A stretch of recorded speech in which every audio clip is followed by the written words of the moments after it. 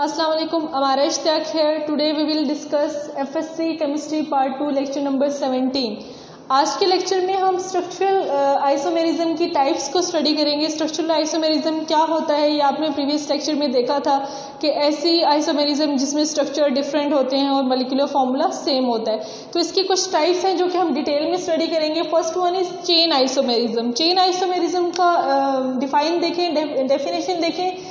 कि it has same molecular formula chain isomerism में molecular formula दो कंपाउंड्स का सेम होगा, उनके अंदर नंबर ऑफ़ एटम्स सेम होंगे but have different nature of carbon chain but इसके अंदर मौजूद कार्बन की चेन की नेचर डिफरेंट होगी। या तो वो स्ट्रेट चेन होगी, या ब्रांच चेन होगी, या वन साइड पे ब्रांच होगी, या दोनों साइडों पे ब्रांचिंग होगी। इसकी एग्जांपल देखते हैं जी।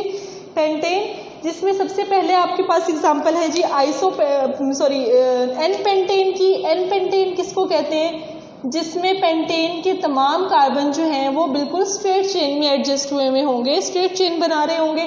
सेकेंड एग्ज़ाम्पल है जी आइसोपेंटेन की। आइसोपेंटेन एक ऐसे कंपाउंड को कहते हैं जिसकी वन साइड के ऊपर एक ब्रांच अपेयर हो रही होगी। फोर कार्बन स्ट्रेट चेन में है, जबकि फिफ्थ वन जो है वो एक साइड पे चेन फॉर्म कर रहा है। Next one is neo pentane neo pentane होता है जी न्यू ऐसे कंपाउंड के साथ लगता है, जिसमें दोनों साइडों पे चेन अपेयर हो रही है। कार्बन आइटम्स के तीन कार्बन आइटम्स की एक बेसिक चेन है उसके अपर साइड के ऊपर भी एक ब्रांच अपेयर हो रही है और लोअर साइड के ऊपर भी एक ब्रांच अपेयर हो रही है तो ऐसे कंपाउंड को हम कहेंगे न्यू पेंटेन तो ये पेंटेन के तीन स्ट्रक्चर्स डिफरेंट स्ट्रक्चर्स हैं जिनमें अरेंजमेंट ऑफ़ एटम या nature of carbon chain different है बट इनका मलिकुलर फॉर्मूला सेम है which is C five H twelve तमाम के तमाम स्ट्रक्चर्स के अंदर इसी ही वाला से, से मलिकुलर फॉर्मूला होगा इनके अंदर कार्बन के एटम्स की तादाद भी यही होगी, हाइड्रोजन के एटम की तादाद भी यही होगी बट इन तीनों के स्ट्रक्चर एक दूसरे से डिफरेंट है। Why different due to different nature of carbon chain next example is next type is position isomerism position isomerism में देखें जी क्या होगा कि it have same molecular formula इनका भी मलिकुलर फॉर्मूला तो सेम होगा but different position of same functional group लेकिन इसके अंदर मौजूद सेम फंक्शनल ग्रुप की पोजिशन चेंज होगी। लाइक like आपके पास क्लोरोप्रोपेन की एग्जांपल है, इसकी दो स्ट्रक्चर्स आपके सामने दिए गए हैं। देखें जी, इसमें फंक्शनल ग्रुप है हेलोजिन मतलब हेलोजिन का मेंबर क्लोरीन तो हेलोजिन इसके अंदर फंक्शनल ग्रुप है, जिसमें एक हेलोजिन जो है, वो कार्बन नंबर फ़र्स्ट पे अटैच हुई हुई है एक स्ट्रक्चर में और दूसरे स्ट्रक्चर में यही हेलोजिन कार्बन नंबर सेकंड पे अटैच हुई हुई है। स्ट्रक्चर वही प्रोपेन का है, तीन कार्बन की चेन है, तीन कार्बन की चेन में से पहले कार्बन पे अगर आपका फंक्शनल ग्रुप अटैच होगा तो ये एक डिफरेंट स्ट्रक्चर बन जाएगा, ठीक है? इसको हम वन क्लोरोप्रोपेन कहेंगे और अगर आपके पास यही क्लोरीन जो है, इसी प्रोपेन के स्ट्रक्चर में सेकेंड कार्बन के ऊपर अटैच होगी तो ये स्ट्रक्चर पहले वाले स्ट्रक्चर से डिफरेंट हो जाएगा और इसको हम टू क्लोरोप्रोपेन कहेंगे। ठीक है? तो ये दोनों स्ट्रक्चर्स जो हैं, ये आपस में डिफरेंट हैं. वाई डिफरेंट ये structures due to different position of same functional group की वजह से ये डिफरेंट हैं कि सेम फंक्शनल ग्रुप है दोनों में क्लोरीन ही का फंक्शनल ग्रुप है बट उनकी पोजीशन डिफरेंट है. नेक्स्ट टाइप इज़ ब्यूटीन ठीक है? ब्यूटीन की सॉरी टाइप में एग्ज़ाम्पल है इसी की पोजिशन आइसोमेरिज्म की एग्ज़ाम्पल देखें कि ब्यूटीन में आपके पास uh, जो फंक्शनल ग्रुप होता है वो इसका डबल बॉन्ड है. आपने फंक्शनल ग्रुप के टॉपिक में पढ़ा था कि डबल बॉन्ड भी एक फंक्शनल ग्रुप के तौर पर एक्ट करता है तो ब्यूटीन में देखें कि कार्बन नंबर फ़र्स्ट के ऊपर जो है वो डबल बॉन्ड अपेयर हो रहा है। कार्बन नंबर फ़र्स्ट के बाद डबल बॉन्ड अपेयर हो रहा है। तो इसको हम कहेंगे वन ब्यूटीन मतलब यहाँ पे ब्यूटीन चार कार्बन की ही चेन है बट पहले कार्बन के साथ डबल बॉन्ड अपेयर हो रहा है। नेक्स्ट इसके स्ट्रक्चर देखिए कि यहाँ पे भी चार कार्बन की ही चेन है बट यहाँ पे डबल बॉन्ड सेकेंड कार्बन के बाद शुरू हो रहा है, ठीक है? तो इसको हम कहेंगे two butene same functional group है, दोनों में डबल बॉन्ड ही है बट एक स्ट्रक्चर में वो पहले कार्बन के बाद डबल बॉन्ड फॉर्म हो रहे हैं और दूसरे स्ट्रक्चर में डबल बॉन्ड दूसरे कार्बन के बाद शुरू हो रहा है, ठीक है? तो डबल बॉन्ड की पोजीशन दोनों में चेंज है। तो हमने पोजीशन आइसोमेरिज्म में पढ़ा कि सेम फंक्शनल ग्रुप होगा लाइक इसमें सेम फंक्शनल ग्रुप था वही क्लोरीन ठीक है? मालिकुलर फॉर्मूला भी इसका सेम होगा बट फंक्शनल ग्रुप की अटैचमेंट डिफरेंट होगी दोनों स्ट्रक्चर्स में। जिसकी वजह से दोनों स्ट्रक्चर्स एक दूसरे से डिफरेंट हो जाएँगे। Next type is functional group isomerism functional group isomerism में देखें, इसमें भी आपको पता है आइसोमेरिज्म में मालिकुलर फॉर्मूला तो सेम होता है।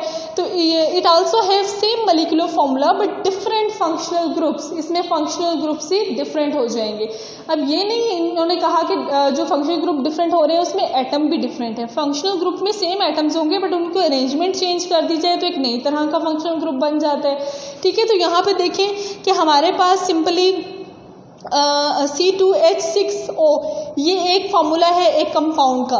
इसी कंपाउंड का सेम मलिकुलर फॉर्मूला वाले दो स्ट्रक्चर हैं। ये दोनों स्ट्रक्चर्स का सेम मलिकुलर फॉर्मूला है। दोनों स्ट्रक्चर्स में दो ही कार्बन होंगे, दोनों स्ट्रक्चर में छः ही हाइड्रोजन होंगे और दोनों स्ट्रक्चर में एक ऑक्सीजन का एटम होगा। इन दोनों स्ट्रक्चर का मलिकुलर फॉर्मूला बिल्कुल सेम है। बट इनका स्ट्रक्चर देखें तो यहाँ पे आपको नज़र आ रहा है कि एक स्ट्रक्चर में दोनों साइडों के ऊपर मिथाइल ग्रुप जो है वो अटैच हुआ हुआ है। दोनों साइडों पे मिथाइल ग्रुप है मतलब अल्काइल ग्रुप है और सेंटर में ऑक्सीजन का एटम है, ठीक है? तो इसको हम क्या कहेंगे? ऐसा कंपाउंड जिसमें ऑक्सीजन एटम दो अल्काइल ग्रुप के साथ अटैच हुआ हुआ होता है, वो ईथर लिंकेज बना रहा होता है ईथर का फंक्शनल ग्रुप बना रहा होता है, ठीक है? और ईथर के फंक्शनल ग्रुप को हम क्या कह ईथर का फंक्शनल ग्रुप को हम क्या कह रहे होते हैं कि दो अल्काइल ग्रुप के सेंटर में अगर एक ऑक्सीजन एटम हो।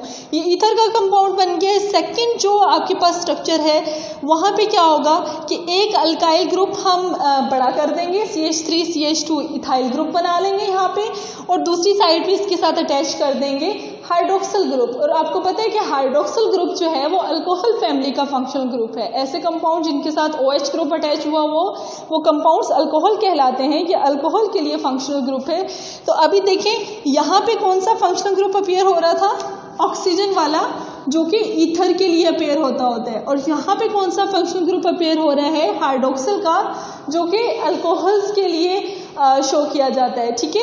तो ये दो ऐसे कंपाउंड है जिनमें डिफरेंट फंक्शनल ग्रुप हैं। दोनों में फंक्शनल ग्रुप डिफरेंट है। इसमें इथर लिंकेज है और इसमें हाइड्रोक्सल ग्रुप है।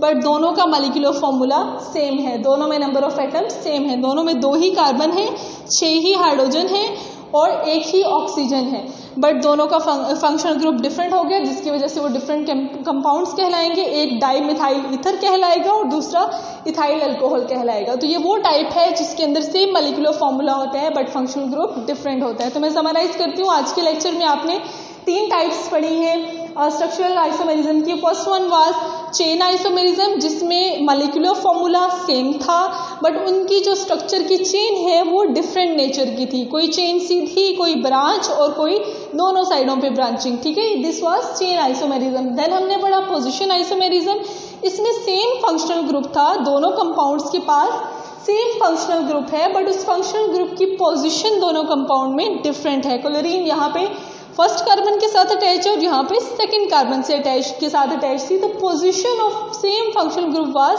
change कि सेम फंक्शनल ग्रुप दोनों के पास सेम था बट उनकी पोजीशन डिफरेंट थी. लाइक ब्यूटीन में डबल बॉन्ड वहाँ पे पहले कार्बन के बाद है, यहाँ पे दूसरे कार्बन के बाद है. Last type was functional group isomerism जिसमें फंक्शनल ग्रुप ही डिफरेंट था. Functional group isomerism sorry position isomerism में तो फंक्शनल ग्रुप की पोजीशन चेंज थी ना? फंक्शनल ग्रुप जो था वो सेम था दोनों में। बट फंक्शनल ग्रुप आइसोमेरिज्म में फंक्शनल ग्रुप ही डिफरेंट हो जाएगा। ठीक है? यहाँ पे मलिकुलर फॉर्मूला इन दो कंपाउंड का सेम है बट इसके पास ether linkage as functional group act कर रहा है, और यहाँ पे hydroxyl group as functional group act कर रहा है। तो यहाँ पे ऐसे स्ट्रक्चर्स डिफरेंट है दोनों, जिनका जो फंक्शनल ग्रुप है वो आपस में डिफरेंट है। तो this is all about today's lecture